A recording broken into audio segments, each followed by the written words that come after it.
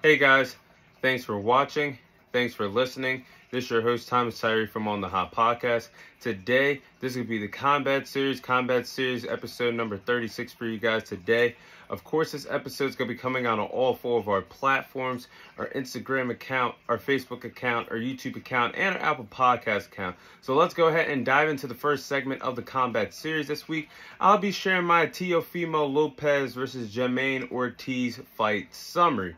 So we seen in the world of boxing Thursday night for Super Bowl weekend, we see Teofimo, uh, Teofimo Lopez narrowly defeat Jamaine Ortiz to retain his WBO and Ring Magazine world titles at the 100, uh, 140 pound division in the sport of boxing. Now, looking at the judges' scorecards, the there was, a, a, of course, obviously in all combat sports, MMA and boxing, you're going to have three judges. So the judges' scorecards were controversial. Two out of three of the judges had the had the fight scored 115, 113 in favor of Teofimo Lopez.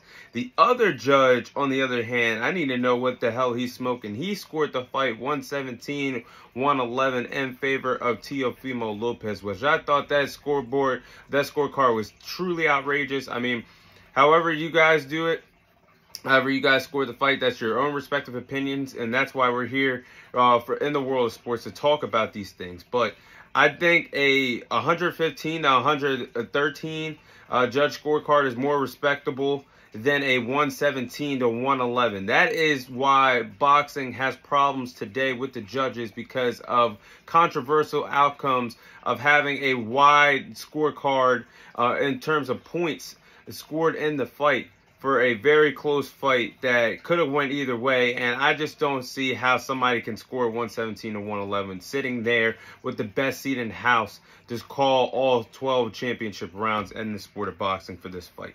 But in my opinion, I scored this fight between Teofimo, Teofimo Lopez and Jamaine Ortiz. I scored the fight 6 to 6. I scored the fight 114 114 in favor of a draw. I thought I thought this was a very close fight in the sport of boxing, but not every fight, not every close fight in the sport of boxing is a robbery. And ladies and gentlemen, boys and girls, we need to get over the fact that every fight in boxing that comes close to the judges' scorecards and the guy that you want to win, it's not a robbery. We got to establish that. But both fighters weren't busy enough to me to score the win. That's why I scored the fight a draw. Uh, looking at this fight, Teofimo Lopez walking down Jamaine Ortiz the entire fight and not having an explosive offensive performance to me was very disappointing for the WBO world champion at the super lightweight division in the sport of boxing. I thought Teofimo Lopez could have been more aggressive. I thought he could have landed more punches being the aggressive fighter and walking down Jamaine Ortiz the whole entire fight in, uh, in that boxing ring on Thursday. But I thought Jamaine Ortiz had a good defensive game plan for Teofimo Lopez But the defense does not rack up points on the judges' scorecards. He needed to be a little bit more active. He had a good defensive game plan, but there was not a lot of punches landing in favor of Jamaine Ortiz. I truly thought the fight between Teofimo Lopez and Jamaine Ortiz was very boring. There was only a total of 80 punches landed by Teofimo Lopez, and there was only a total of 78 punches landed in favor of Jamaine Ortiz. So this is the reason why this came to the judges' scorecards, and I do believe that Teofimo Lopez was truly saved by the judges, and I do believe that at best this fight should have been called a draw instead of Teofimo Lopez getting the victory. There's no way in hell that he deserved a unanimous decision win for this lackluster performance against Jamaine Ortiz. And let's establish this. ESPN Top Rank, Bob Arum we need to stop with these free Thursday night fights on, in the sport of boxing taking place on the ESPN top ranked platform. Now, we keep seeing, you keep giving us, uh, all boxing fans, these Thursday night track star performances. We are tired of that. We do not want to see a Thursday night track star event in that ring, in the boxing ring. Or if you're going to have a Thursday night uh, event that's going to be monumental, that's going to push the needle for the sport of boxing, then please do it. If you're not, we don't want to see these track star snooze fest performances in the sport of boxing on a Thursday night when people got to go about their day the next morning. People don't want to struggle to stay up to potentially see a banger fight in the sport of boxing, and then we get an absolute snooze fest when you get put on caliber fighters on a Thursday night like Shakur Stevenson, like Teofimo Lopez. It has not lived up to the hype ESPN Top Rank, please move away from this uh, and doing this on week weekend uh, weeknights and the sport of boxing. But also something I need to address though, uh, as we continue this, ESPN needs to stop this narrative.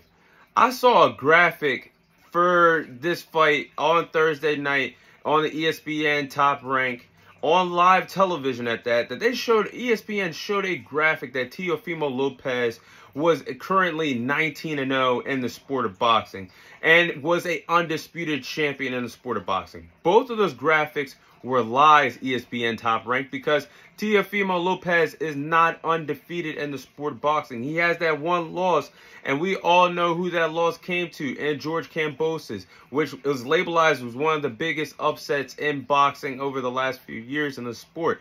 And to clear the narrative again, Teofimo Lopez was never a undisputed champion in the sport of boxing. Now have it. He was a unified champion at the lightweight division. He did hold the WBA title, the IBF title, the WBO title, the Ring Magazine title. He had it all. But that WBC belt was not the true WBC belt. That was a franchise title. And the franchise title is not the true WBC world title in the sport of boxing. That's why boxing needs to clean up everybody getting a belt for winning a fight because uh, for casuals you think anybody's a champion in the sport boxing but that subject is for a different day on the combat series but uh, the WBC title at the time was with Devin Haney for anybody wondering he was the WBC lightweight champion in 2020 at that time. So Teofimo Lopez was truly never an undisputed champion. And going back to the graphic that I just said, ESPN top rank, this is not the first time they did this.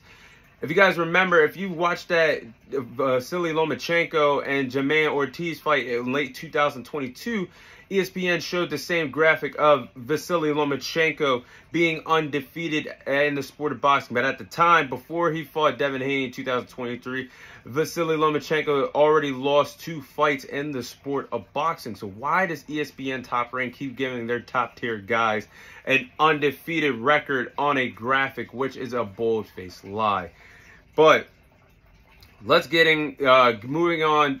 What's next for Teofimo Lopez? So Teofimo Lopez has some options, and he, said some interesting things. Uh, I, have seen and uh, podcasts and interviews over the last few days after his performance against Jamaine Ortiz. He's actually came out the mouth and said he's not pursuing a fight with Gervonta Davis, Devin Haney, or Shakur Stevenson no more. He said he's got to fight the judges, and you just got blessed by the judges in your last performance. He's got to fight the judges, the corner man. The corner man, there's only two people fighting in a boxing ring. That's you and your opponent. Nobody else is fighting for you. Nobody else is fighting against you. So I don't want to hear the excuse I got to fight against the judges, the corner man, the referee. No. If you want to fight these top tier guys, say it. If you don't want to fight these top tier guys, then move on with your business and keep fighting B plus fighters and ESPN top rank. But Teofimo Lopez does have options. And option number one is Keyshawn Davis. Keyshawn Davis is a part of ESPN top rank, so the fight wouldn't be hard to make at all. And there's actually been a sparring clip a few days that was leaked a few days ago with Teofimo Lopez and Keyshawn Davis actually sparring each other. Uh, but he looked good against a former two, uh, a Keyshawn Davis, I should say, looked good in his performance that he had against a former two division world champion and Perzar, uh, Pedraza. Uh, Keyshawn Davis looked good in that performance against Pedraza. He was in the co-main event of the Teofimo Lopez fight.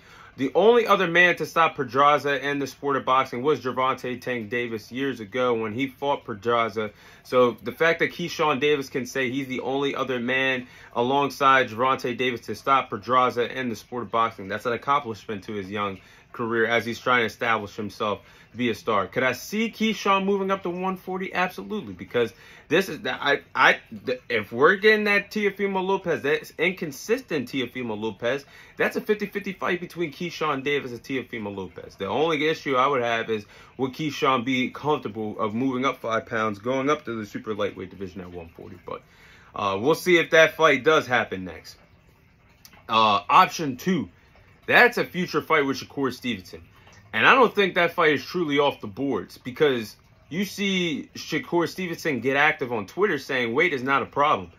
And Shakur Stevenson and Teofimo Lopez are on the same side politically, or signed with ESPN Top Rank, signed with Bob Arum. I don't think that fight is off the boards to see in 2024 at all.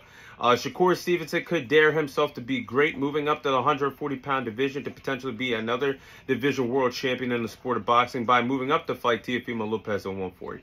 Uh, and it kind of makes sense because Shakur Stevenson wants that big time fight in his boxing career. He just turned down a five fight deal with Top Rank worth $15 million to fight over the next five fights if he signed that contract with Top Rank, but he declined the offer and he has one fight left with Top Rank and has aspirations of getting back in the boxing ring by June. So I think that fight between Teofimo Lopez and Shakur Stevenson is not off the boards, and I would not be surprised if we get that fight next. Uh, but the real thing, the real uh, thing for Teofimo Lopez is the, his aspirations of wanting to fight Terence Crawford. So how would a future fight with Teofimo Lopez and Terence Crawford play out? I don't think Teofimo Lopez would do well against Terence Bud Crawford in a fight, at a future fight in the sport of boxing. Even if the fight was at a catch weight or at 147, I don't believe Teofimo Lopez would do great in the ring with Terence Crawford. Uh, I do not, and these are the reasons why I do believe that Teofimo Lopez would not do great against Terence Crawford. One, if you got any shot of being Terence Crawford, who is undefeated, nobody's ever fi- figured out how to defeat the man. But the, if you want to find a way to beat Terence Crawford, that's cutting off the ring. And Teofimo Lopez has a problem of cutting off the ring. You've seen in his performance against Jamaine Ortiz, the man could not cut off the ring to save his life. Uh, wouldn't win a counterpunch battle with Terence Crawford. As good as a counterpuncher as Teofimo Lopez is, you're not winning a counterpuncher battle with pound for pound the best fighter in the sport of boxing and Terence Crawford. Uh, and he's had, and the, the third reason why he wouldn't beat Crawford, he's had too many inconsistent performances at 140. Looking back at his track record at the 140 pound division, in his performance, he had a shaky performance against Sandor Martin. He had a flawless performance against Josh Chandler. Then just had a bad performance against Jamaine Ortiz. Inconsistency, I don't see him hanging around with Terence Crawford at all in the sport of boxing. And let's just say that future fight is never going to happen. And it's best for Teofimo Lopez that that fight never truly happens. But those are my thoughts on Teofimo Lopez and Jamaine Ortiz uh, fight summary taking place uh, that took place last week in the sport of boxing.